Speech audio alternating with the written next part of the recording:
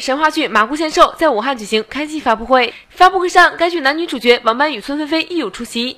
中国电视艺术家协会副秘书长张彦明。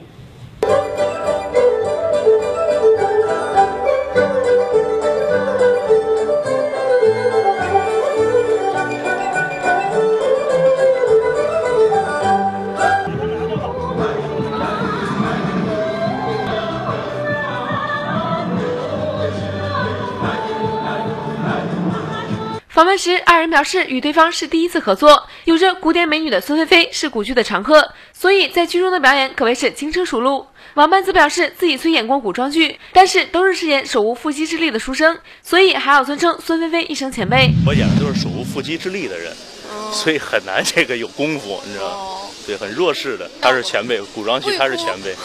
另外，孙菲菲与众人分享拍摄古装戏时吊威亚的感受。她表示，拍古装剧很危险，因为有一次吊威亚拍摄时，由于疏忽，保险挂钩被挂，将要吊起时及时被发现，否则自己很可能会受伤。有一次就是因为就是疏忽，然后就把那个那个保险那个挂钩就没挂，然后就往上拉，然后就在马上要下令说一二三要往上拉的时候，突然那个有一个他们武行的领队就发现这个问题了。